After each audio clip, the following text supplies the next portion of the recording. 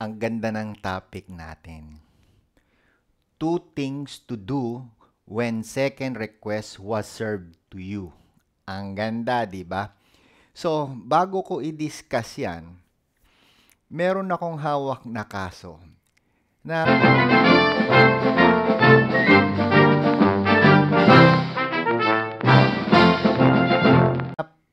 maituturo ko sa inyo kung paano yung dapat approach dito. Isa kasi sa mga approach ng BIR is number one yan, lagi, estopel. Number two, diversionary tactics. Yan, diversionary tactics and then delay. Pag may diversionary tactic, may delay. At pag may diversionary tactic, mayroong uh, illegal attack sa inyong katauhan, sa inyong right, yung ginagawa ng mga salbahe at mga mga corrupt na BIR officials. So, bibigyan ko kayo ng 3. Oo, 3 30 seconds para basahin ho yung 3 pages na letter ng BIR.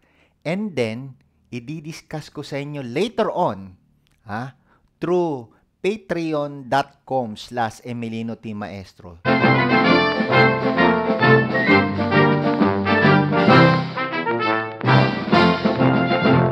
Yung answer. Para kung gusto nyo maging tax consultant o tax specialista, ha, tax specialista, o gusto ninyong kayo na mismo ang humawak ng kaso ninyo, eh hindi kayo matataranta. Now, ito po, dito po mag-uumpisa yung 30 seconds nyo. Time starts now.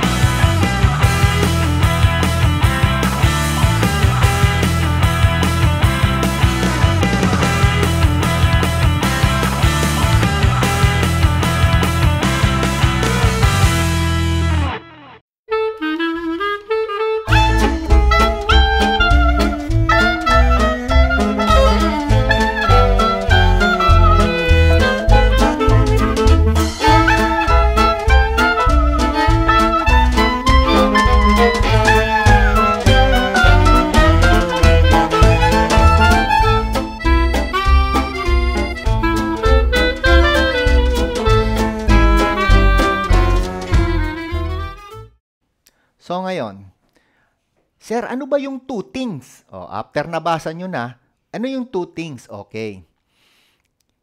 Uh, ang technique kasi ay na, nakasulat na rito eh.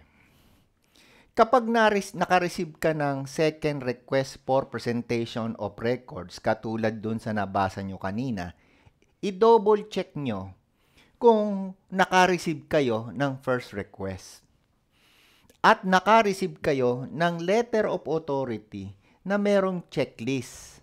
Kasi may technique dyan para makancel mo lahat yan.